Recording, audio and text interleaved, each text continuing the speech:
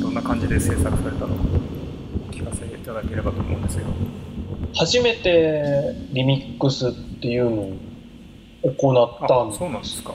初めてなんですね、でサンプラーをつく使ってはい。曲を作ったっていうのも実はその時が初めてで。へえ。こう探り探りというか、うん。バンドルインパクターをあのリミックスしたんですけども。はいそこから抽出して音を足さずにこの音のみで、やるうんやってみようっていう。ハードウェアのサンプラーを使用してそこで、えっと、リミックスを作ってたってことですよね。そうですね。もうそこだけで完結させて構成自体は、えっと、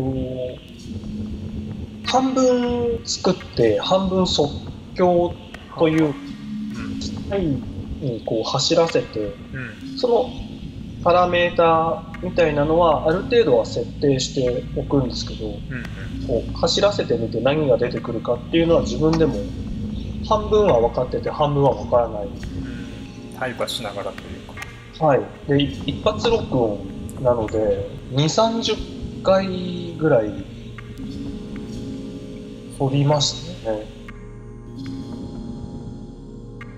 あと、その、お客さんのあそう。席、席の音。席の音が入ってるんだよねあの時ねいや、でも、それ、あれがやっぱりいい味を出していて、まあよく見つけたなと。思ったんですけどね席の音がちょっとこう、パッドっぽい音が、バットっぽい音。テレビのなんか、ふわーんみたいな、ああれが席なん。ふわーんみたいなのが、うん。はい。あれが席ですね。読み方がわかんないぞって、言われる。フローラって読めるようにはして。るなんかちょっと花と関係ありそうな。そう。あそうですそうです。であの本当はフルイドバンドルインパクター。液液体のような。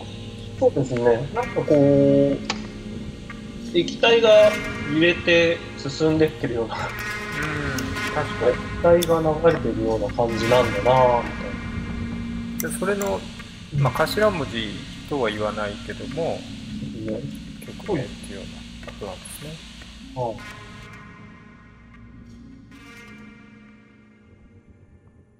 悩んで、はい。あの、一番、あの、おって思った。飛谷さん、はいはい終わり間際、音が、だんだんこう収束していくんですけど、うんずっと耳に残る。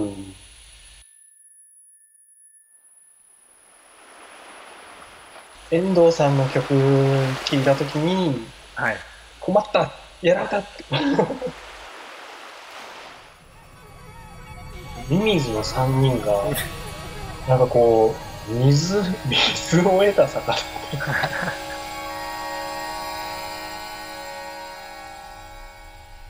レイさんもはいはい。一緒に活動もしてたりするので、あの中に多分すごいいろいろ考え込まれたうん。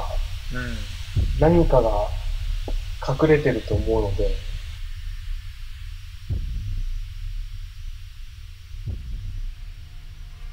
じゃあすいません。最後トラックリストについて。まず1から13曲。うんあるんだけども、13の次に1曲目がつながるように、こう、はい。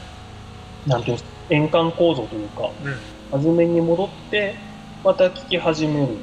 なんか、いつの間にか戻ってきたみたいな捉え方になったらいいなと思って、なるこのトラックリストを見てもらうとそうなんですけど、はいあの、ブックレットの方の1から5で分けられてて、うん6から10で分けられてて、11から13に分けられてるんですけど、うん。まあ1枚で3部構成っていうのはあんまりない。うん、それぞれの作品が持ってたものをうまく整理するとそうなったっていうことだと思うんですけど。パルさんにお願いしてよかったなと思ってますけどね。楽しかったです。もうとにかく楽しかったです。